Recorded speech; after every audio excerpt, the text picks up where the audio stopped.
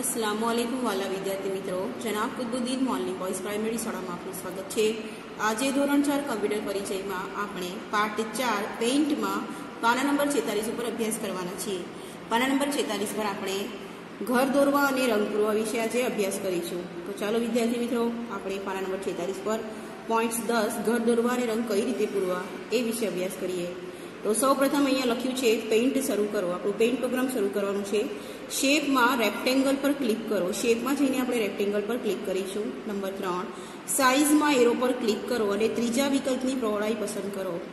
બરાબર? નંબર ચાર કલર એકમાં બ્લેક કલર ડિફોલ્ટ સિલેક્શન છે. બ્લેક ડિફોલ્ટ કલર છે પહેલાંથી સિલેક્ટ થયેલું છે. બરાબર? જો કે તે અન્ય કલર પણ દર્શાવી શકે છે. બરાબર? બીજા કલર પણ એમાં નાખી શકો છો. કલર એક પર ક્લિક કરો અને કલર પેલેટમાંથી બ્લેક કલર પસંદ કરો. બરાબર? તમારે કલર એક પર ક્લિક કરવાનું છે. કલર બ્લેક તો છે જ, ફરીથી એને બ્લેક પર ક્લિક કરવાનું છે. નંબર પાંચ, ડ્રેગિંગ દ્વારા ચોરસ અને લંબચોરસ દોરી નાખો. બરાબર? નંબર છ, શેપમાં લાઇન પર ક્લિક કરો. નંબર સાત, સાઇઝમાં એરો પર ક્લિક કરો અને ત્રીજા વિકલ્પની પહોળાઈ પસંદ કરો. બરાબર? એટલે હવે લાઇન દોર દોરવાની છે. આપણે રેક્ટેંગલ દોરી નાખ્યું છે. હવે આપણે એના ઉપર ક્રોસ લાઇન દોરવાની છે. નંબર આઠ, છાપરા માટે એટલે છપરું બનાવવા માટે. સીધી રેખા દોરવા માટે લંબચોરસની ઉપર વચ્ચે વચ્ચે માઉસ મૂકો, બરાબર? અને માઉસ પોઈન્ટરને નીચે ડાબી તરફ ડ્રેક કરો. બરાબર? તો આપણે જોઈએ પાના નંબર સુડતાલીસ ઉપર. અહીંયાથી આપણે રેક્ટેંગલ શેપ લેવાનું છે. સાઇઝમાં ત્રીજો ક્રમ લેવાનો છે અને બ્લેક કલર પર સ્લીક કરીને અહીંયા બ્લેક કલર સિલેક્ટ કરવાનું છે. પછી આપણે એક રેક્ટેંગલ દોરવાનું છે. પછી આપણે લાઇન લેવાની છે. લાઇનમાં સિલેક્ટ કરવાનું છે, ત્રીજો નંબર, બરાબર? અને અહીંયા ડ્રેગ કરીને લીટી દોરવાનું છે. નંબર નવ, આ પ્રમાણે બીજી રેખા દોરી છાપરું દોરો. પછી અહીંયાથી આપણે બીજી રેખા ડ્રો કરવાની છે, બરાબર? તો આવું ઘર દોરાઈ જશે. દેખાય છે તમને? બરાબર? હવે આપણે દસમું પોઈન્ટ વાંચીએ શેપમાં રાઉન્ડ રેક્ટેંગલ પર ક્લિક કરો. હવે આપણે શેપમાં જઈને રાઉન્ડ રેક્ટેંગલ પર ક્લિક કરીશું. અગિયાર, લંબચોરસની અંદર માઉસ પોઈન્ટર મૂકો અને ડ્રેગિંગ દ્વારા દરવાજો દોરો. અહીંયા દરવાજો દોરવાનો છે. કયો શેપ લેવાનો છે? રાઉન્ડ રેક્ટેંગલ તો પાના નંબર અડતાલીસ ઉપર જુઓ. શેપમાં રાઉન્ડ રેક્ટેંગલ લીધું અને અહીંયા મૂકી દીધું. બરાબર? એ જ સાઇઝ અને એ જ પહોળાઈ અને એ જ કલર લઈ લીધું. નંબર બાર. ટૂલમાં ફિલ વિથ કલર પર ક્લિક કરો. નંબર તેર. કલર એક પર ક્લિક કરો અને કલર પેલેટમાંથી બ્રાઉન કલર પર પસંદ કરો. અહીંયા આવીને આપણે બ્રાઉન કલર લેવાનું છે. કલર એક પર ક્લિક કરીને કયો કલર લેવાનો છે? બ્રાઉન કલર પહેલાં આપણે અહીંયા જે છે એ કલર કરવાનો. બરાબર? ફિલ વિથ કલર એના પર ક્લિક કરીને બ્રાઉન કલર લઈશું. ફિલ વિથ કલર દેખાય છે વિદ્યાર્થીઓ?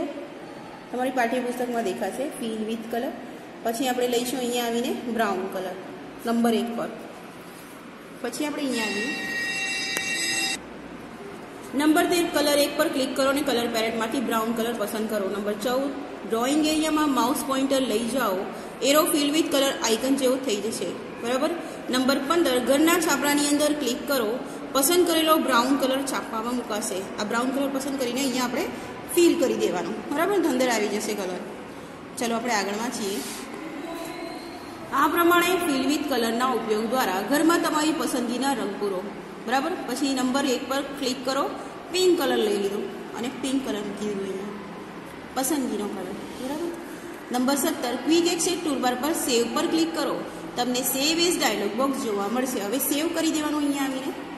અહીંયા આવીને. બરાબર? સેવ એઝ કરી દેવાનું. અથવા તો મેનુ પર પેઇન્ટ બટન પર ક્લિક કરો. તમને ડ્રોપ ડાઉન મેનુ જોવાશે આ બટન પર મેનુ બાર પર ક્લિક કરજો. આ બટન પર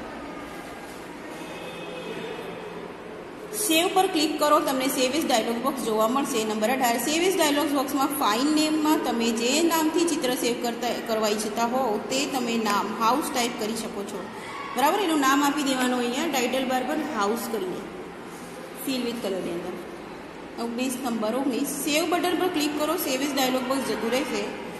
ટાઇટલ બાર પર જુઓ, તમને જે નામથી ચિત્ર સેવ કર્યું છે, તે નામ હાઉસ અને પેન્ટ ટાઇટલ બાર પર દેખાશે, આવી રીતે દેખાશે. નંબર વીસ પેઇન્ટ વિન્ડો બંધ કરવા માટે ટાઇટલ બાર પર ક્લોઝની નિશાની કરો. વિદ્યાર્થી મિત્રો, ચાલો આપણે થોડુંક એનું પ્રેક્ટિકલ જાણી લઈએ. સૌપ્રથમ વિદ્યાર્થી મિત્રો, આપણે રેક્ટેંગલ શેપ પસંદ કરીશું. બરાબર? અહીંયા આવીને આપણે સાઇઝ પસંદ કરીશું. બરાબર? અને સાઇઝ પસંદ કર્યા પછી કલર એકમાં બ્લેક કલર પહેલાંથી છે. આપણે ફરીથી બ્લેક કલર પસંદ કરી લઈએ. મેં અહીંયા ક્લિક કરી દીધું છે. હવે આપણે ડ્રોઈંગ એરિયામાં આવીને એક રેક્ટેંગલ દોરીએ. રેક્ટેંગલ મેં ડ્રો કરી નાખ્યું છે. હવે આપણે સાઇઝમાં આવીને સોરી લાઇનમાં આવીને લાઇન ક્રોસ લાઇન પસંદ કરીએ. બરાબર? અને અહીંયાથી એક લાઇન ડ્રો કરીએ. બરાબર? વ્યવસ્થિત. એવી રીતે આપણે અહીંયા આવીને ફરીથી એક બીજી લાઈન ડ્રો કરીએ. બરાબર? હવે આપણે કલરમાં જઈને બરાબર ફિલ વિથ કલર પર ક્લિક કરીએ. કલર એકમાં જઈએ, બરાબર? અને અહીંયા આવીને બ્રાઉન કલર લઈ લઈએ. બ્રાઉન કલર લીધા પછી આપણે અહીંયા આવીને એને બ્રાઉન કલર કરી લઈએ. બરાબર? હવે ફરીથી આપણે ફિલ વિથ કલરમાં ક્લિક કરીએ. કલર એક પર જઈને આપણે કયો કલર પસંદ છે? તો આપણે પિંક કલર લઈ લઈએ. બરાબર? પિંક કલર લઈને અહીંયા આપણે પિંક કલર કરી નાખીએ. વિદ્યાર્થી મિત્રો, આવી રીતે આપણે ઘર તૈયાર કરી નાખ્યું છે. બરાબર? હવે આ ઘર તૈયાર થયા પછી આપણે શિવમાં જઈશું. બરાબર? આ સેવ અથવા આ સેવ બંનેમાંથી કોઈ પણ એક સેવ પસંદ કરીને આપણે પેઇન્ટમાં જઈને સેવેસ પર ક્લિક કરીશું. બરાબર? સેવેસ ડાયલોગ બોક્સ ખુલી ગયું છે. હવે અહીંયા જે અનટાઇટલ છે, તો અનટાઇટલ પર જઈને આપણે અનટાઇટલ જે છે એના પર જઈને આપણે ક્લિક કરીશું અને અહીંયા નામ લખીશું, એને ડિલીટ કરીને બેક સ્પેસ કરીને. બરાબર? હાઉસ. બરાબર? અહીંયા હાઉસ નામ લખી દીધું મેં. હવે આપણે અહીંયા સેવ જે છે એના ઉપર જઈને સેવ કરી દઈશું તો આપણું જે નામ છે એ હાઉસ અહીંયા દેખાય છે હાઉસ પેઇન્ટ બરાબર? તો વિદ્યાર્થી મિત્રો, તમને સમજ પડી ગઈ હશે કઈ રીતે હાઉસ ડ્રો કરી શકાય છે. તમે આ વીડિયો ફરીથી જોશો તો તમને સમજ પડી જશે. હવે આપણે પેઇન્ટને ક્લોઝ કરી દઈએ છીએ અહીંયા આવીને. અહીંયા પેઇન્ટ ક્લોઝ થઈ ગયું. બરાબર? વિદ્યાર્થી મિત્રો, તમને સમજ પડી ગઈ હવે. આના પછીના પીરિયડમાં આપણે એડિટ કઈ રીતે કરીશું એ આપણે શીખીશું. ઇન્શાલ્લાહ આના પછીના વિડીયોમાં. ત્યાં સુધી અલ્લાહ હાફિઝ. Thank you